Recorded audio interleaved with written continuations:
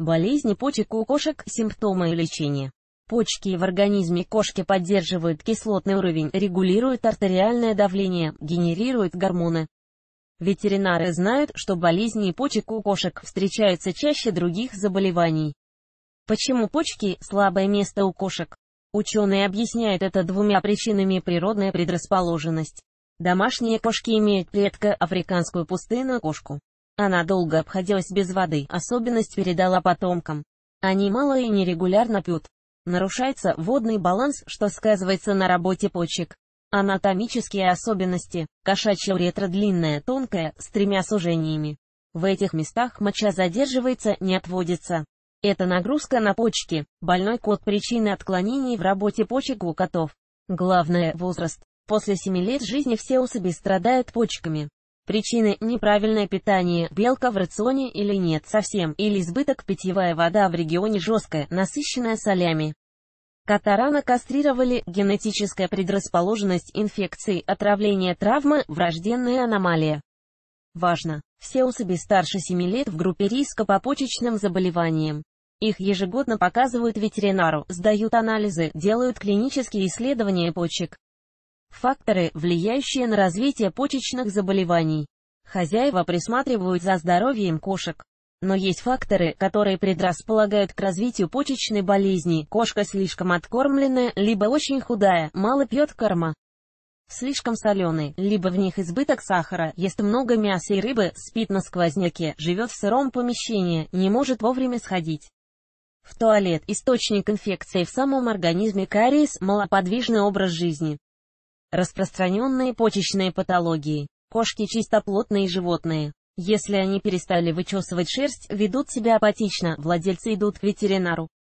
Ищут причину в мочевыводящей системе. Не все знают, где почки у кота, а причина недуга часто кроется в них.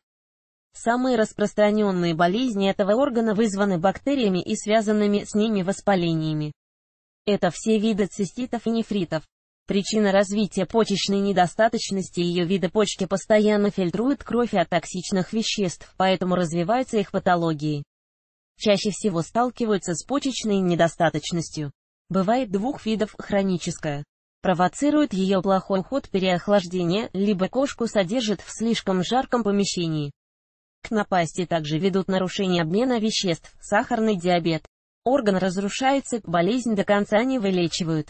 Острое, спонтанное воспаление со стремительным развитием. Опаснее хронического орган может отказать. Причины – стресс, сердечные болезни, артериальное давление МКБ. Нефросклероз в моче белок и кровь. Частое мочеиспускание, объем мочи уменьшился. Проводят биохимический анализ крови и УЗИ почек. Устанавливают, соединительная ткань разрослась, орган плохо снабжается кровью. При этом почки сморщиваются, не выполняют свои функции. Лечение, мочегонные препараты, слабительные, сердечные лекарства, антибиотики. Обеспечивают правильным питанием 4-5 раз в день, сокращает соль, белки. Гидронефроз водянка почек появляется, когда мочевыводящие пути сужаются. Почки переполняются, растягиваются. В дальнейшем отмирают функциональные ткани. Причины – травмы, воспаление. В брюшной полости могут появиться новообразования, сдавливать мочевой пузырь. Проводят ультразвуковое исследование. Важно, данный недуг можно вылечить только оперативным вмешательством. Пиелонефрит животное горобится на лотке, в моче кровянистые и гнойные вкрапления, у кошки болят почки, симптомы однотипные. Бактерии поражают верхние мочевые пути, развиваются гнойные воспаления в лоханке. К пилонефриту приводит хронический нефрит, сахарный диабет. Другие факторы – переохлаждение почечная недостаточность, тяжелые роды, отравление. Когда орган начинает отказывать, назначают антибиотики, противомикробные препараты. Амилоидоз печени и почек – редкое заболевание. Нарушение белкового обмена. Белок оседает на внутренних органах, они перестают функционировать. Все, что снижает иммунитет, становится причиной амилоидоза печени и почек.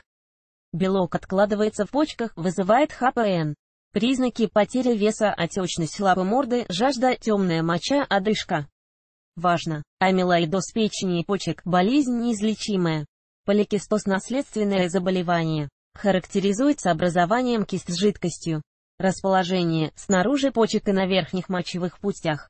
Обследование у ветеринара симптомы кошка не дает прощупать область почек, много пьет, мало есть, худеет, утомляется, слизистые.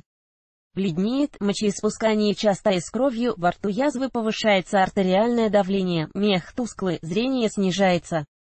Животному делают переливание крови, проводят симптоматическое лечение, поддерживают артериальное давление. Нефрит воспаление почек инфекционной или аллергической природы. Нефрит бывает после вирусной атаки, отравления после глистов. Также заболевание вызывает переохлаждение и мочекаменная болезнь. О нефрите свидетельствуют частые походы на лоток, при этом мочи становится меньше панос, апатия, желтушность, отеки век и лап. Кошек кормят умеренно, сокращают соль, дают продукты с калием, кальцием и углеводами в составе. Для справки, если хозяин вовремя среагирует, болезнь легко поддается лечению, кошка остается здоровой еще много лет. Гломерулонефрит причины не выявлены. В моче кровь и белок. Скорее, аллергическая реакция на некачественный корм. Отекают лапы по челюстной пространство. Провоцирует недуг купания в холодной воде, содержание в сыром помещении, большие физические нагрузки. Кису сажают на бессоливую диету, делают кровопускание, подкожно вводят глюкозу. Симптомы и признаки нарушения работы почек. Симптомы и признаки больных почек у котов однотипные для всех недугов мочевыделительной системы, болезненное мочеиспускание, мочи. Становится меньше, в лабораториях обнаруживают высокий уровень белка в моче, кровь в моче. Состояние животного угнетенное. Появляется слабость, наблюдается потеря веса. Диагностика проблем с почками у котов. Когда кот заболел, ведут к ветеринару. Он назначает клинические исследования, берут кровь и мочу на анализ, измеряют температуру и артериальное давление. Животным проводят УЗИ и томографию. В сложных случаях для выяснения диагноза прибегают к операции, делают посев мочи. По анализам не всегда удается точно определить диагноз. Смотрят на соотношение креатинина в крови и в моче. Метод считают надежным. Лечение почечных болезней. Когда симптомы указывают на болезнь почек у кошек, назначают лечение.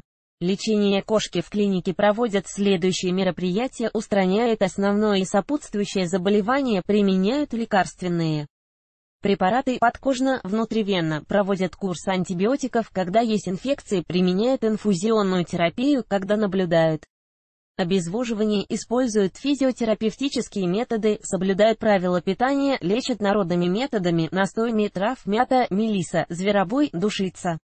Лечебные корма как метод профилактики. В период лечения домашних любимцев от почечных болезней соблюдают правила питания. Кормят 4 раза в день понемногу. Вода должна быть постоянно. Питание сбалансированное, с малым содержанием соли. Следят за содержанием белка в еде.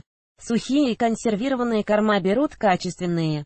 Предпочтение отдают специально разработанным лечебным. Готовят натуральные продукты, отварную курицу, крольчатину, овощи, каши. Внимание! Нельзя постоянно кормить кошку сухими покупными кормами. У нее начинается обезвоживание и проблемы с почками. Прогноз течения заболеваний. Если почечные заболевания обнаружены на ранних стадиях и лечение начато вовремя, то прогноз утешительный. Животному будут назначены клинические исследования и лечение, оно может выжить. Поддерживающая терапия дает шанс продлить жизнь. Но есть неизлечимые кошачьи заболевания. Почки могут отказать, тогда летальный исход неизбежен. Профилактика заболеваний почек у котов. Почечные заболевания тяжело поддаются лечению. Их легче предупредить, чем лечить. Главная профилактическая мера – правильное питание. Кошки, хищники, им дают сырое мясо, либо свежеприготовленные натуральные продукты. Животных вовремя показывают ветеринару, делают прививки. Но прививки тоже провоцируют болезни мочевыводящей системы. Поэтому прежде всего советуется с хорошим специалистом. Почки в кошачьем организме – уязвимый орган из-за физиологических особенностей животного.